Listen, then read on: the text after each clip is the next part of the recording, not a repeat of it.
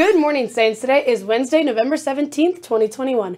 Happy birthday today to Emma Baldwin, Sean Carroll, Thomas Heap, and Nicholas Ramirez. The saint of the day today is Saint Elizabeth of Hungary. She was the daughter of the King of Hungary. Elizabeth chose a life of penance and asceticism when a life of leisure and luxury could have easily been hers. This choice endeared her in the hearts of the common people throughout Europe. Want to learn about the Peace Corps in French speaking Senegal from a guest speaker? Come to Room 104 during STA today. Sign up using the QR code on the French door room. Spikeball Club will be holding, an STA and play in the Aux Gym during the second period of STA on Friday, November 19th. This is open to all people, even if you're not in the club. Bring a spikeball net if you have one for some fun competition.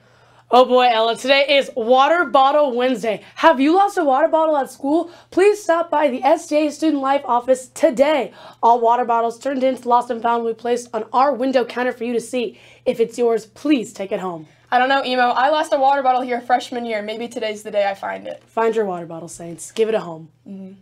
Remember, this Friday, November 19th, the Alumni Speaker Series will have its most ambitious presentation yet. We will not have one, not two, but three St. Thomas Aquinas alumni coming to speak to us. They are all experienced and knowledgeable engineers, and the speaker series will be formatted as an engineering panel. On the menu today in the Saints Cafe, soup Red Bulls. Mm-mm-mm. Now it's time for the fun fact of the day. Did you know that Taylor Swift's debut album, released in October 2006, sold more than 2.5 million copies? What, Ella? I just did not know that, but I should have known that because I'm a true Swiftie. Yeah, me too, Emo. Thanks for watching the Halo Morning Show. Back with more for you tomorrow. I'm Elizabeth. And I'm Ella, signing, signing off. Remember, stay classy, Saints, and create while you're here.